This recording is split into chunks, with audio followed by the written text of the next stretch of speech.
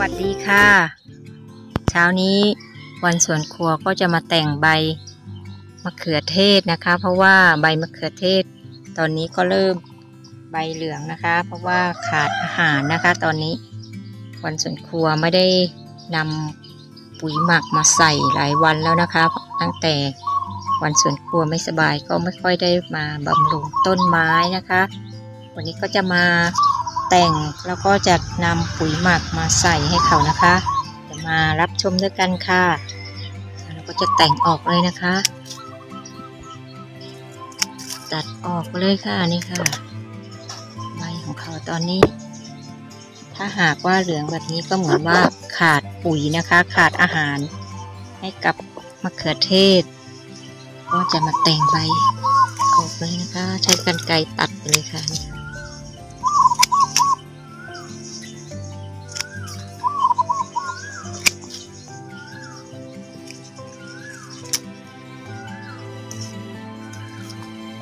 ตอนนี้เริ่มเหลืองแล้วนะคะมะเขือเทศ เพราะว่าไม่ได้มี ไม่ได้ใส่ปุ๋ยให้เขานะคะ เขาก็จะไม่มีอาหารไปกินนะคะค่ะ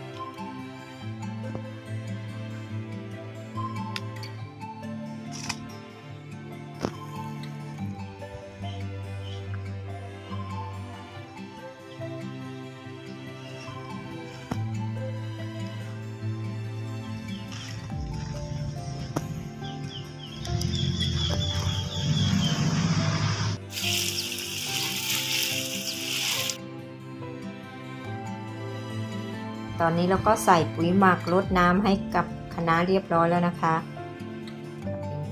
ผักคะน้าที่ลดน้ำหมักไปเมื่อวานนี้นะคะ วันนี้เราก็เลยนำปุ๋ยหมักมาใส่ เพื่อที่ว่าเขาจะได้ต้นใหญ่ขึ้นอีกนะคะ เพราะว่าวันสวนครัวเคยปลูกได้ ต้นละประมาณ 7-8 ขีดหรือว่าถึงกิโลนะคะต้นหนึ่งแต่ตรงนี้ไม่รู้จะได้ประมาณไหนนะคะ เพราะว่า เอามาปลูกครั้งแรกก็ต้นไม่ค่อยสมบูรณ์เท่าไหร่นะคะ เป็นต้นยาวๆนะคะ ตรงนี้ แต่ตอนนี้ก็ต้นเริ่มใหญ่ขึ้นบ้างแล้วนะคะ เราก็จะบำรุงปุ๋ยหมักไปอีกนะคะ ตอนนี้ ก็เป็นจะพาไปชมผักที่ปลูกไว้ใหม่นะคะเป็นแปลงที่ทำใหม่ ใช้อิฐบล็อกนะคะเรียงขึ้นมา แล้วก็นำผัก ที่มีต้นกล้าอยู่นะคะมาปลูกเป็นผักกวางตุ้งนะคะ ผักแปลงนี้ก็ปลูกได้ 3 วันแล้วนะคะ ตอนปลูกก็ไม่ได้ทำคลิปให้ได้ชม เพราะว่าปลูกตอน6โมงแล้วนะคะ ก็นำต้นกล้ามาปลูกค่ะ อากาศหน้านี้นะคะต้องปลูกผักตอน อากาศเย็นๆนะคะ ไม่งั้นจะเหี่ยวมากเลยค่ะ เหี่ยวเฉาไปเลยนะคะ ถ้าปลูกตอนเช้านะคะ ผักแปลงนี้เรายังไม่ได้บำรุงอะไรนะคะ เพราะว่าเพิ่งจะปลูก ตอนปลูกเราก็ผสมปุ๋ยคอกลงไปในดินนะคะ ปุ๋ยคอกปุ๋ยหมักที่เราทำไว้นะคะ ผสมลงไปในดินแล้วเราก็นำต้นกล้ามาปลูกเนี่ยค่ะ ก็ตอนนี้ยังไม่ได้บำรุงอะไรนะคะ ก็จะให้เขาตั้งต้นให้ดีก่อนแล้วค่อย นำน้ำหมักมาลดค่ะ ถ้าเพื่อนๆท่านไหนนะคะ ยังไม่ได้ปลูกผักสวนครัวลองปลูกดูนะคะ ไม่ใช่เรื่องยากเลยการปลูกผักสวนครัว ตอนแรก ๆก็วันสวนครัวก็ทำไม่เก่งนะคะ เพราะว่ามาปลูกผักได้ปีสองปี ก็เริ่มทำปุ๋ยหมักแล้วก็มาดูว่าผักปลอดสาร จะต้องใส่อะไรบ้าง จะทำให้ผักมีลูกนะคะ ก็ศึกษาไปเรื่อยๆ แล้วก็ได้มีผักสวนครัวไว้เล็กๆ ข้างบ้านไว้แบบนี้ ถ้าพื้นที่เราน้อยนะคะ เราก็สามารถนำถุงปุ๋ยที่เราซื้อข้าวสารมานะคะนำมาใส่ดินปลูกได้ค่ะ ผักสวนครัวก็ ไม่ต้องใหญ่มาก ปลูกอย่างละต้นสองต้นก็ได้นะคะ ใส่ถุงปุ๋ยแล้วก็เลี้ยงไว้ข้างบ้านนะคะเราก็จะได้มีผักกินนะคะ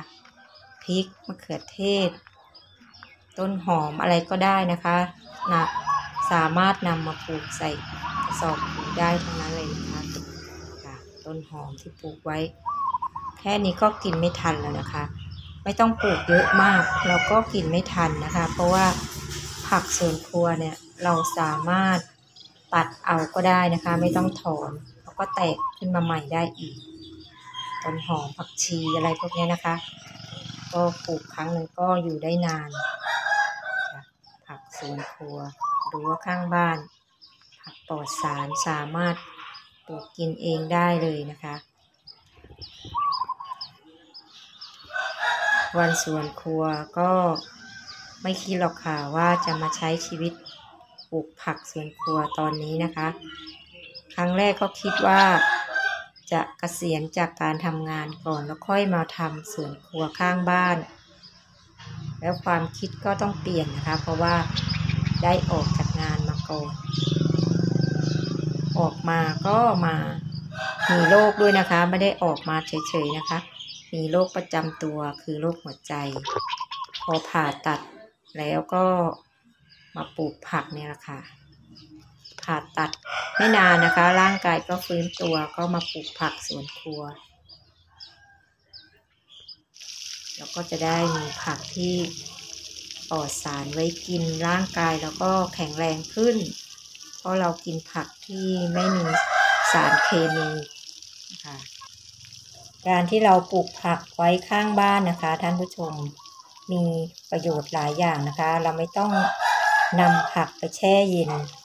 พอเวลาเราจะกินผักอะไรนะคะ เราก็เดินมาเก็บไปทำอาหารได้เลย นี่แหละค่ะประโยชน์ของการ